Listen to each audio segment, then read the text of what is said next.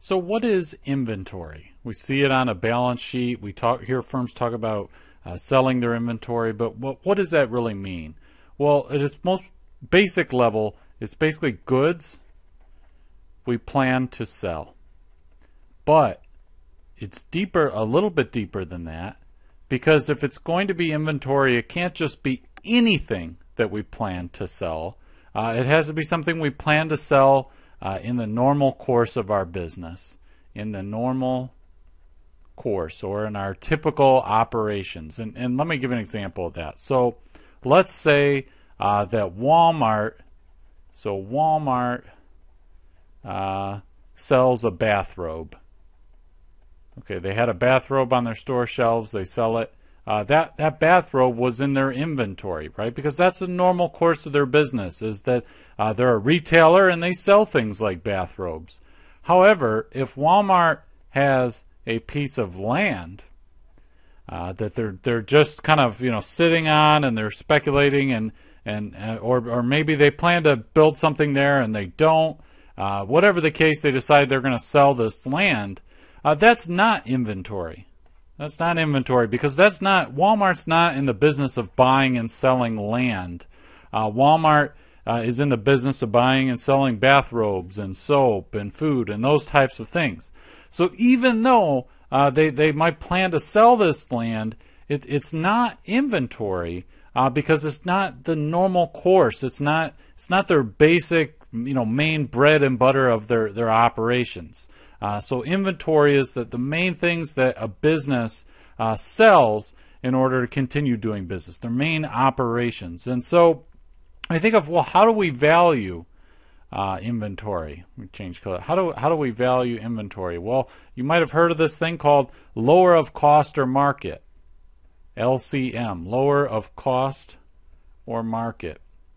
And well, what does that mean? It means that if we t- typically we buy inventory, we record it at cost. However, in some cases, uh, something might happen and the market value of the inventory might go lower than what we actually paid for it, right? So let's say uh, that, that Walmart uh, decides that they're going to sell some computer and they pay $200 for that computer. But then that same company comes out with a new type of computer a year later, and now this is really only worth it's really only worth $100 because customers say, well, I'll just buy the new computer for $200. Why do I want this old one? Uh, so, really, the market value has declined. And so, what the firm is going to do is it would be overstating that inventory uh, if it kept it at just the cost, which was the 200, so they're going to go with the lower of cost or market, which in this case is the market value, and they're going to go ahead and write down the inventory to that lower value. So that's that's what it means when we say that inventory is uh, on the books at lower cost or market value. Now, when a firm has inventory, uh, they have to make disclosures about something called a cost flow assumption. And that might sound uh, very complex, but it's it's really quite simple. Uh, cost flow assumption. And let me just uh, let me give a, an example here, and it'll it'll illustrate it uh, pretty well. So let's say that on January 1st, uh, the firm buys 100 units of of some widget at two dollars a unit.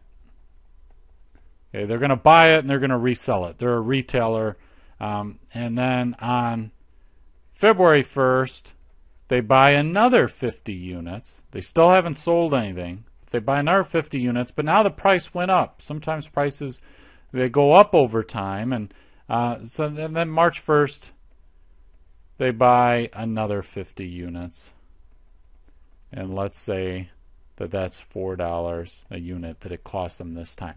Now, they go and and now here's the key they sell on let's say let's say June 1st, they sell 50 units. So now when we when we go to make our income statement, uh, we're going to have revenue obviously from these 50 units of whatever the price we got for them. Uh, but now we have to figure out well what's the cost of these 50 units? What is the cost that we assign to that? What's the cost of goods sold? So you might say, well, hey, just whatever those particular units cost, but maybe we don't know. Uh, we don't know which 50 of these because we've got 200 here. We've got we've got 200 units, and we don't know which 50 it is that we sold. Maybe it's some uh, product that's just indistinguishable. Now, if if we could distinguish the 50 units, and we say, you know what, no, we know for a fact it was 50 of these units, then we get to say, okay, it's it's, it's two dollars a unit. That's called specific identification, right? For maybe a small firm can do something like that, or but if we don't know, if we can't distinguish, then we have to make some kind of assumption some kind of cost flow assumption. And and what well what assumptions can we make? Well, uh, one is called FIFO. FIFO. FIFO is basically first in, first out. That's what it stands for. First in, first out. So the first units that we purchased, right? So we got all this here, and the first ones we purchased chronologically are here, January 1st.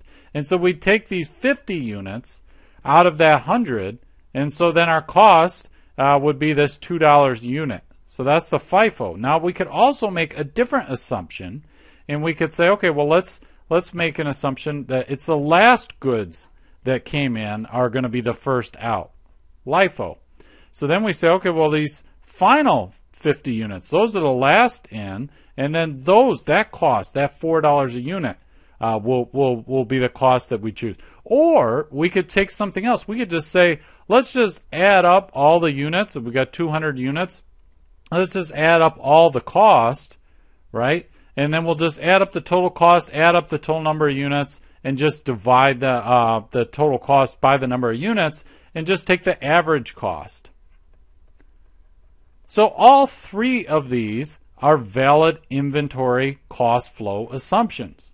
Now it's up to the firm to choose uh, which type of cost flow assumption uh, that it would like to use. It could use you know, FIFO, LIFO, average cost, uh, or if possible, specific identification. Whatever the case, the firm must disclose uh, what type it uses in the financial statements, and it'll show up so that you know when you're looking at the balance sheet and you're comparing two firms, well, does this firm's inventory, is it calculated using FIFO, LIFO, average cost? How is the inventory represented on the balance